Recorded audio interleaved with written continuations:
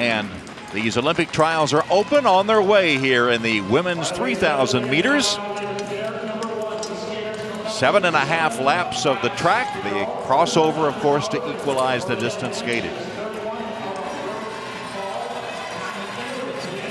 Brianna Kramer on the inner is a former inline speed skater. She was a great distance skater. She won multiple medals as a junior in inlines at Junior World Championship, switched over to ice in 2010. Maria Lamb, crossing over to the inner lane there, is a pure ice skater. She started on ice skating. She skated all the way through the junior programs on ice, and she's been on three Olympic teams.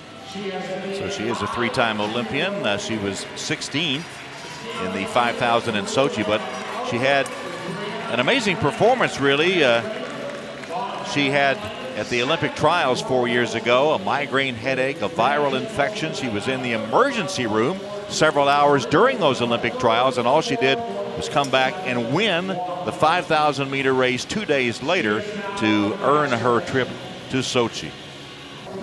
What we're seeing now is really that motor, too.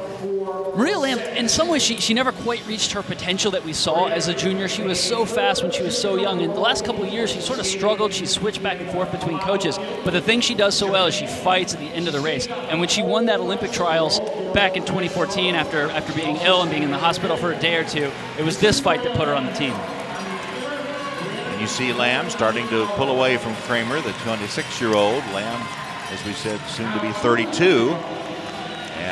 And 35-42 that last lap.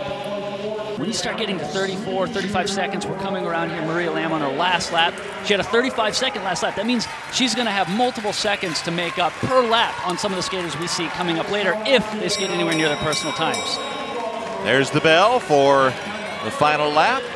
Lamb, 36.08, starting to slow down as you would expect you got to be strong. You got to go out there and, and, blast right away. But if you start seeing one second, two seconds slower than your first lap, it's, it's usually going to be a, a, really rough time. Brianna Kramer, who we're not even seeing on your screen anymore, I talked to her coach last night, and she she's had such bad back spasms, she had to get injections just to, to make it on the ice today. And she says she'll retire after these trials as Lamb crosses the finish line.